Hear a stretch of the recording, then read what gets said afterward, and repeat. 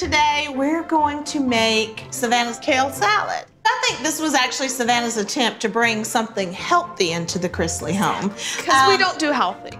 Well, not very often. One of the things that I like about the salad is that because you are making it with the kale, the greens are a little heartier. So I think it's actually better the next day. Whereas Oh, it with other salads, you know, it gets all yuck and mushy and no good. Everything's been washed, it's ready to go. I'm gonna chop up the kale. Do you like it chopped finely or? Obviously, you got to cut Yes. the stalks off. Yeah.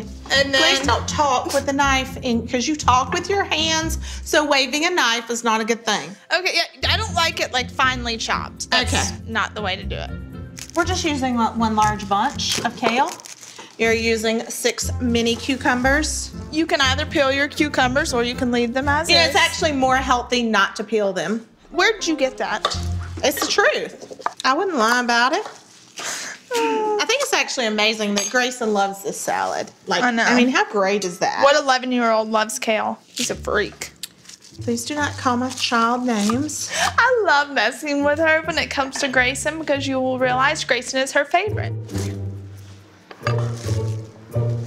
There's, oh, did you run out of words? Never. I've got the big knife now.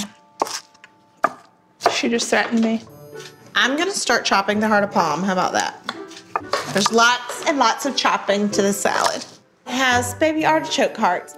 So good. We're just gonna like quarter them. It has carrots. We're gonna grate the carrots. That just honestly makes for the perfect salad. Go, girl. Getting tired. It has water chestnuts. Don't forget the water chestnuts. No, God's do not sake. forget the water chestnuts. It has tomatoes. You don't have to cut them up, but I just like them. Yeah, because nobody likes something that pops in your mouth. Mm-mm. no. And radishes. This salad actually has lots of good, healthy ingredients. Add however much you want of each ingredient. There's no, there's really no particular measurement, I would say. We just did a base, right? Yeah. We're giving a base today. The thing about this salad is you can't really mess it up. The dressing is so good. The dressing is like the best part. so light and refreshing. You want to get the bowl and get ready for our dressing. I will Yes. grab the extra virgin olive oil. So with this, we're going to do a half a cup of the extra virgin olive oil. We're gonna juice two lemons. All right, and it's one and a half teaspoons of minced garlic. Okay. And we have two shallots minced. I love a shallot, and it's great for dressings. I love it in a dressing. Here you go. Ready? Yeah. Put it over here. Good. Perfect. Now we do salt and pepper. Let me do it because you'll put too much salt. No, I do not. You don't trust me with salt. No, I don't. Here you go. One last thing we need is what? The vinegar. There. There you go. Okay. All right, now let's toss the salad. Do you have to hold it so high?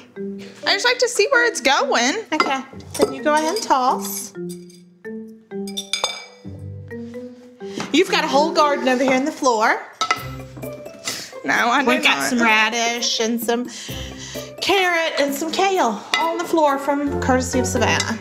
Grayson's gonna be so happy. I mean, this is like gonna be the perfect snack for him to have when he gets home from school. Hey. Hey, Hey, Bug. Look what we've been doing for you.